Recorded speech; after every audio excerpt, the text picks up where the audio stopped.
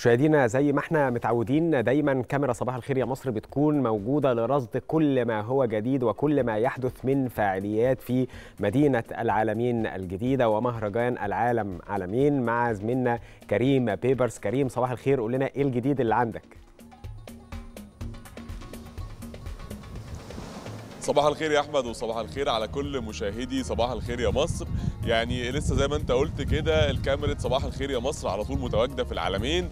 بنرصد دايما إيه آخر الفعاليات اللي موجودة في المهرجان سواء الصبح سواء بالليل سواء النشاطات الرياضية المختلفة سواء الحفلات اللي بتحصل. كل ده إحنا بنتابعه سوا عشان ننقل للناس إيه اللي بيحصل خطوة بخطوة عشان كمان نقدر نشجعهم إن هم يقدروا يجوا في أوقات فراغهم بالذات إن إحنا في الصيف دلوقتي يقدروا يجوا يستمتعوا بالأجواء ودي يمكن النقطة الأهم اللي عايز أتكلم معاكم فيها النهاردة فكرة الجو. يعني إحنا في فترة من الصيف الوقت فيها بيبقى شديد الحرارة جدا جدا. لكن يمكن من حسن حظنا الحقيقة إنه اليومين دول فعلا سواء الصبح أو بالليل في نسمة هواء جميلة جدا جدا. الشمس مش حامية بدرجة قوية اللي تخلي الناس تقول لا إحنا في عز الصيف مش هنقدر نتحرك. بالعكس الأجواء مشجعة جدا جدا. اللي حابب يجي يقضي وقته هنا في العالمين الجديدة.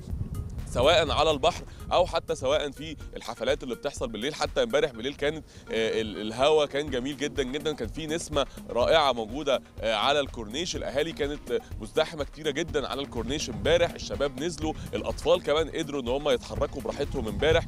الكورنيش يمكن منسق ومنمق بطريقة جميلة بحيث انه الاطفال يقدروا يتحركوا بالعجل يقدروا يتحركوا بالباتيناج يقدروا يتحركوا زي ما هم عايزين. اهاليهم يبقوا مطمنين عليهم. فالرؤية بشكل عام كانت الحقيقة امبارح بالليل جميلة. جدا جدا ولسه ما زالت النهارده الصبح يمكن على الشط جنبي الناس موجودة في البحر فعلا قدروا ينزلوا يستمتعوا بوقتهم. دي نقطة مهمة جدا في فترة الصيف.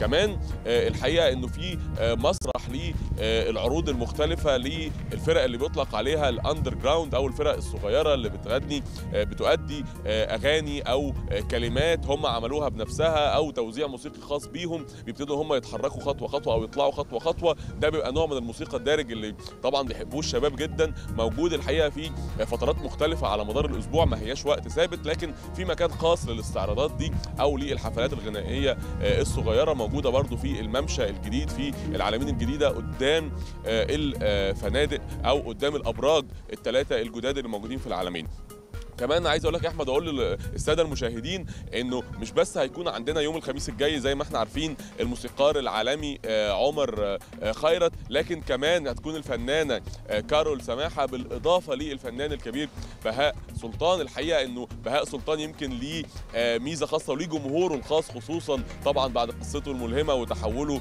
وتدريبه وتغيره بشكل كبير جدا. انه الحقيقة يعني الناس منتظرة بشغف كبير جدا جدا. الحقيقة حفلة بهاء سلطان الخميس القادم بالإضافة لحفلة مسار إجباري يوم الجمعة. ده طبعا الحفلات اللي موجودة دي ما بتغنيش خالص عن البطولات والنشاطات الرياضية المتنوعة اللي موجودة في المهرجان في نسخته في 2023 اللي بيجي تحت شعار زي ما انت قلت زي ما إحنا دايما عارفين العالم عالمين الحقيقة النشاطات الرياضية هتتنوع على مدار الأسبوعين الجايين أو على مدار الحاجة و20 يوم اللي متبقين في المهرجان اللي هينتهي في 26 أغسطس واللي بيستهدف تقريبا نص مليون زائر.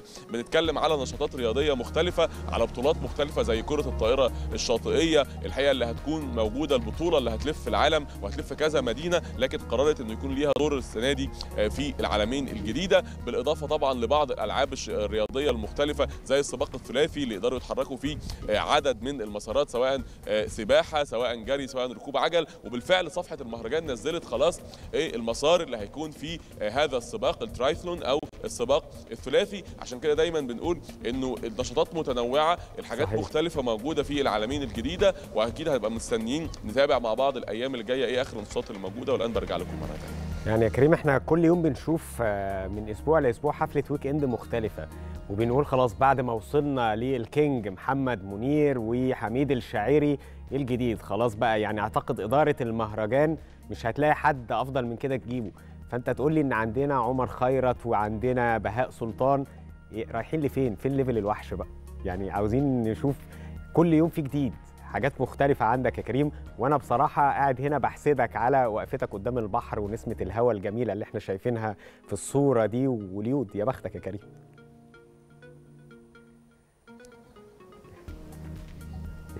شكرا ليك كريم بيبرس من مدينة العالمين. وفي الحقيقة دايما يعني بترصد لنا كل الأجواء اللي موجودة عندك. وبنحس إن أنت وديتنا العالمين وإحنا قاعدين هنا في القاهرة.